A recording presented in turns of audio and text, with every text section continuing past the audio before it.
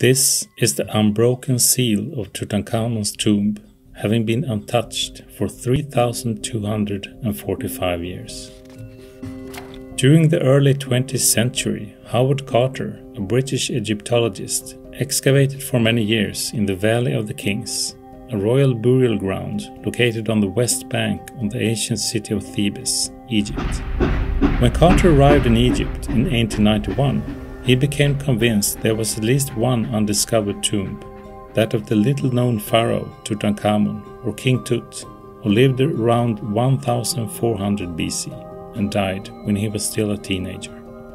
Backed by a rich Brit, Lord Carnarvon, Carter searched for five years without success. In early 1922, Lord Carnarvon wanted to call off the search, but Carter convinced him to hold on one more year.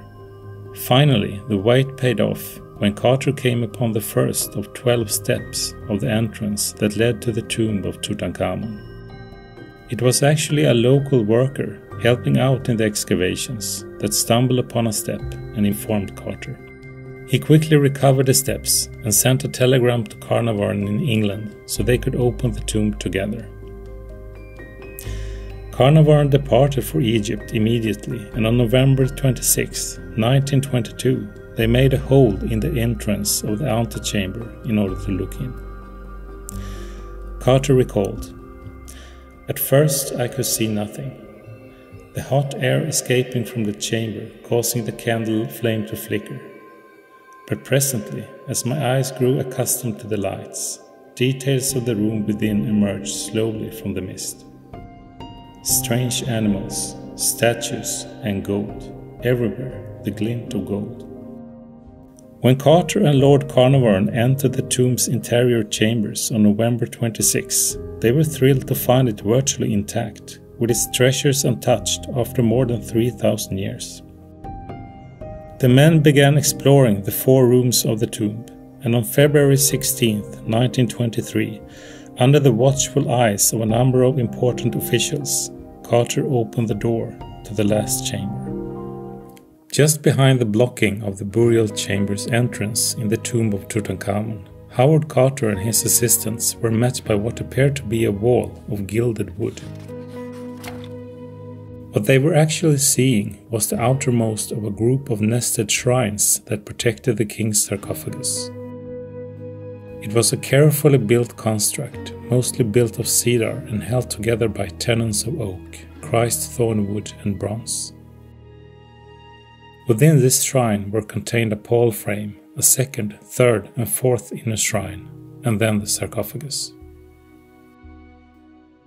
Each shrine was constructed as a box, each one fitted at one end with double folding doors.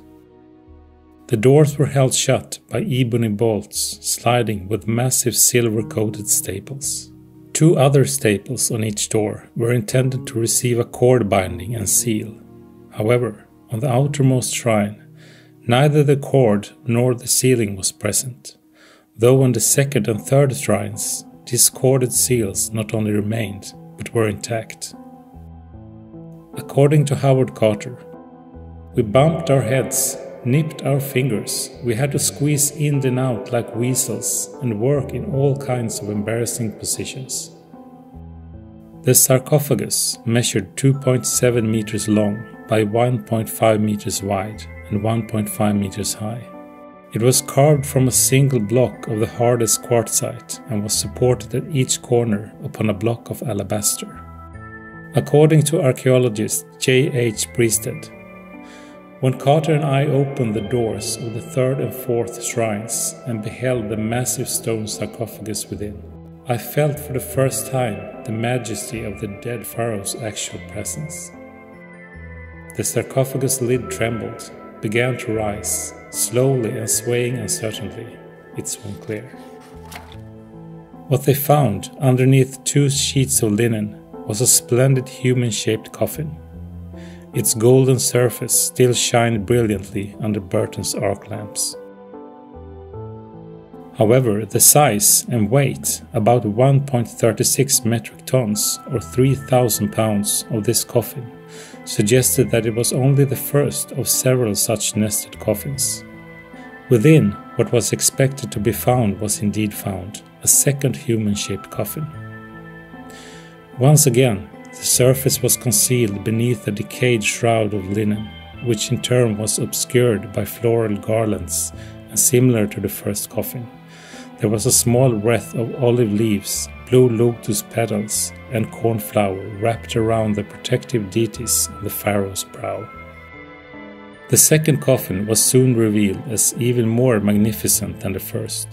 It measured two meters long and was constructed from wood, covered as before with an overlay of gold foil. It is hard to imagine the amount of work which must have been put into making this coffin. Carved in wood, it was overlaid with sheet of gold on the thin layer of gesso, a sort of plaster. Then narrow strips of gold, placed on edge, were soldered to the base to form cells in which the small pieces of colored glass, fixed with cement, were laid.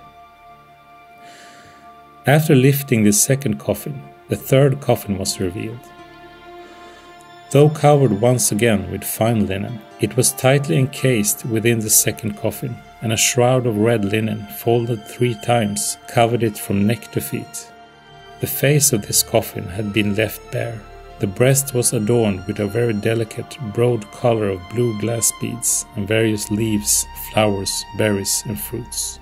This third coffin was amazingly different, particularly in one respect, as Howard Carter notes. Mr. Burton at once made his photographic records. I then removed the floral collarettes and linen coverings.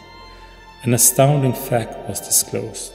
The third coffin was made of solid gold. The mystery of the enormous weight which had puzzled us was now clear. It explained also why the weight had diminished so slightly after the first coffin, and the lid of the second coffin had been removed. Its weight was still as much as eight strong men could lift. The golden coffin measured about 1.9 meters in length. The metal was beaten from a heavy gold sheet and varies in thickness up to 3 centimeters. In 1929 it was weighed, tipping the scales at 110 kilograms.